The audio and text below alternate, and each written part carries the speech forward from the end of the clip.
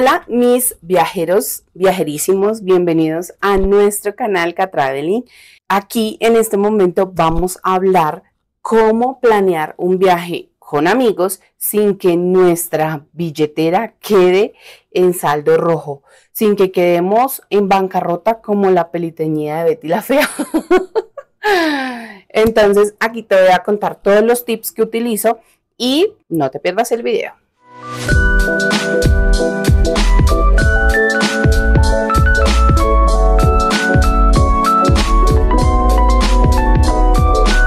Y bueno, ya saben, aquí no vamos a quedar con la cuenta en cuidados intensivos, acá viajamos barato. Y pues eso también implica los viajes con amigos, así les encante gastar algunos. Y me refiero a esos momentos en los que dices, vamos a hacer un viaje, pero ¿quién va a comprar la comida? ¿Quién va a comprar el trago? ¿Quién se va a encargar de alquilar la finca? ¿Quién va a llevar los carros? Todo eso implica dinero. Y pues qué mejor que podamos llevar el control entre todos. Así que he descubierto el santo grial por ti. Sí, esta aplicación te permite organizar los datos en todo tu grupo de viajes. Se llama Splitwise. Creo que así se dice. Yo sé que suena extraño, como si fuera una nueva religión, pero solamente es una aplicación. Primero, descargamos la aplicación y les decimos a nuestros amigos que también lo hagan. Incluso ese amigo que siempre dice que no sabe manejar el celular. Después, simplemente comenzamos a añadir los gastos. Si tú creas el grupo, igual yo te voy a mostrar un ejemplo práctico para que sea muchísimo mejor. Tú creas tu grupo, ¿sí? Entonces ahí comienzas a, enviarle la invitación a las personas que tú desees y que hagan parte de este viaje. O entre las que se vayan a dividir los gastos, porque pues uno nunca sabe qué tal bendecidos y afortunados que a alguno no le toque dar, pues no lo incluyen. Entonces, vas a darle clic en enviar la invitación y cada uno va a ir registrando lo que va pagando. Por ejemplo, ¿quién pagó la estadía? Entonces que ponga ahí de una vez la estadía si otra persona hizo el mercado, entonces que ahí ponga lo del mercado.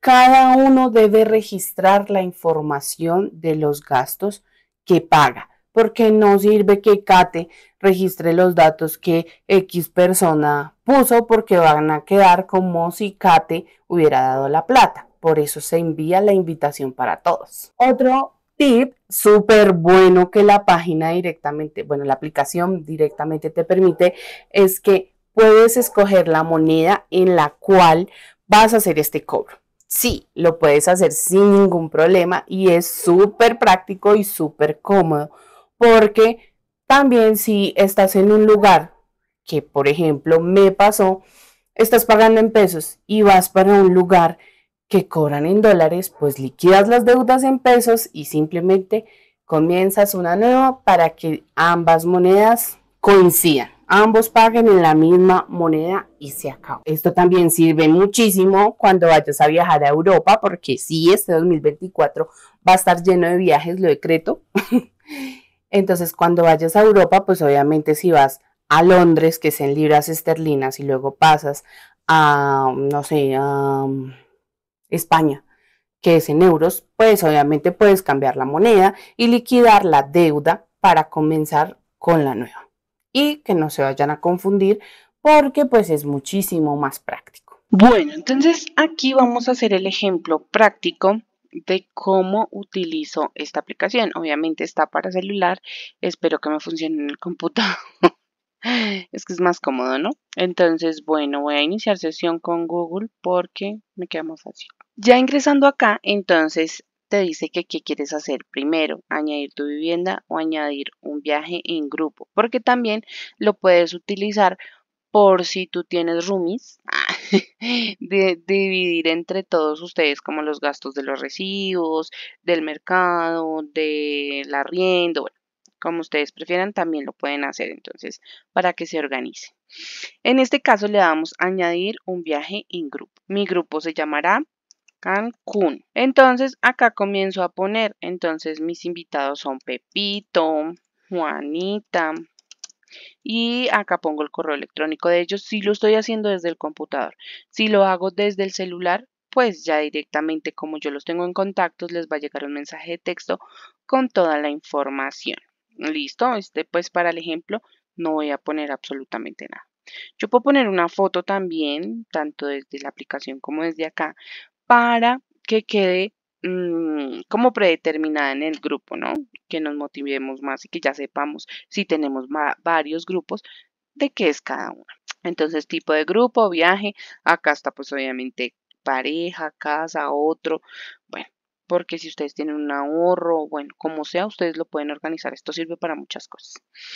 Y hay un tipo de configuración avanzada, que aquí es donde ustedes pueden simplificar o no las deudas del grupo. Bueno, vamos a darle aquí guardar y ya me va a estar creando mi, em, mi grupo. Obviamente, como yo no le puse ningún correo a Juanita ni a Pepito, pues ellos no salen con información, porque ellos no van a poder agregar sus gastos. Eh, o lo que ellos han pagado. Acá podemos eh, invitar amigos, si se nos olvidó a alguien lo podemos agregar sin problema y aquí súper importante le vamos a dar clic en añadir gasto. Entonces, aquí en añadir gasto, digamos yo pagué la estadía en Cancún y fueron, obviamente me la cobraron en dólares, entonces yo aquí voy a poner que fueron unos, no sé, inventémonos un valor, 240 dólares. Dividido por ti y dividido en partes iguales entre todas las personas. Obviamente, yo puedo añadir imágenes, una factura, lo que sea, o notas, ¿sí? Para que sepamos específicamente de qué fue. Le doy clic en guardar y ya me dice gasto añadido. Y ya me dice que yo presté em, pues este valor y que Juanita y Pepito me deben 80 pesos, 80 dólares, perdón. La moneda se configura acá, en esta, en esta tuerquita. Ustedes pueden poner si lo quieren hacer en dólares o lo quieren hacer en pesos. Acá le damos otra vez añadir gasto. Entonces, por ejemplo, yo pagué la comida y si ustedes ven sale un tenedor, ¿no? Y la comida en total fueron aproximadamente 90 dólares. Yo les digo en dólares, pero ustedes pueden ponerlo en pesos mexicanos, ¿no? Como ustedes prefieren. Entonces le dan acá guardar y listo. Ahí se agregó. Entonces ahora me deben más Juanita y Pepito. Y así consecutivamente. Si digamos, eh, Juanita me dice, ay, toma acá te de una vez tus 110 dólares y Pepito me dice, ay, toma acá te de una vez. Entonces yo le doy aquí en liquidar deudas. ¿Listo? liquidar deudas, registrar un pago en efectivo, acá me dice que ya se pagó y le doy guardar. Y listo. Obviamente acá sale que Pepito ya me pagó. Registrar un pago en efectivo y luego sale que Juanita también me pagó. O sea, estamos al día. Acá pueden ver todos los gastos que se han realizado. Es súper importante que ustedes lleven un control de esos gastos porque em, así van a saber en qué se gastaron cada cosa, eh, porque yo no tengo tal plata, qué pasó con tal dinero que yo tenía y ya no tengo. Bueno, ahí van a poder tener el control. Y también van a poder hacer un, uno para ustedes exclusivamente. Entonces van a poder crear uno en, ah, bueno, acá donde les decía que pueden cambiar la moneda. Van a poder crear uno para ustedes solos. Entonces el grupo se llamará Mis Gastos y pues no agregan a nadie le dan guardar y ahí comienzan a añadir todas las cosas que ustedes compran para ustedes sin necesidad de que otros obviamente aporten, ¿no? Porque no lo vamos a dividir, eso es algo que únicamente yo pongo como para que también tengan el control de sus gastos adicionales y al final de viaje puedan hacer como un, como un sondeo de lo que cada uno se gastó. ¿Listo?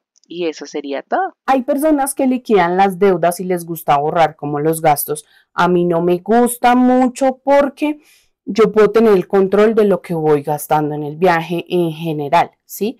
Porque yo puedo poner ahí, mm, por ejemplo, pues absolutamente todo y aparte hago un, grupo solo mío donde pongo mis, mis gastos aparte.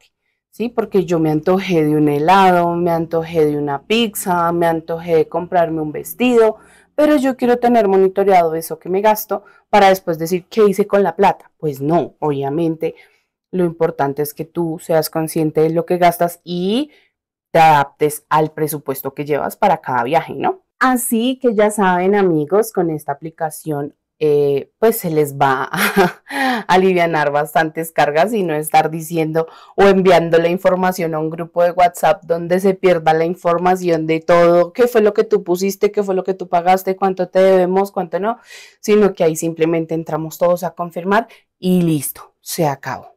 Cuéntame si tú sabías de esta aplicación, cuéntame cuáles utilizas tú, porque sé que no es la única, pero esta me parece muy buena porque la he probado varias veces. Y ya sabes, más viajes, menos excusas. Chao viajeros.